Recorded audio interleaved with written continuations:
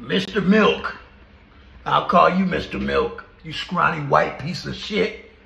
On hood, I kept it cool. I was a nice, great guy. You fucking snoover ass nigga on neighborhood crib. By next month, cuz, I gotta go take care of my little issues or whatever. Come neighborhood crib, I wanna make sure in that county jail, I beat the fuck out of a lot of your homies. I know I ain't never gonna see you in jail, you custer ass, calculating ass gangbanger. On hood. But now you really fucked up, cuz. Putting my mama all on the internet, cuz. There's a reason why she's not all on the internet.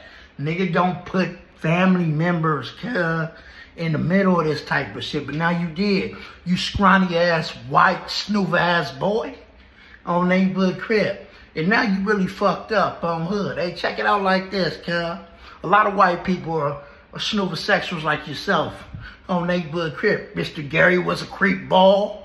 Milk, you're a snoover. You're known 5C motherfucking creep ball ass motherfuckers.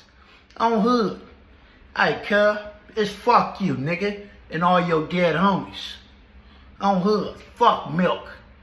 Cuz try to make snoover sexual gestures towards me. Nigga, I don't get down like you and your homies, nigga. Matter of fact, get off that calculator and go in your hood, nigga, and go catch you a fucking DP.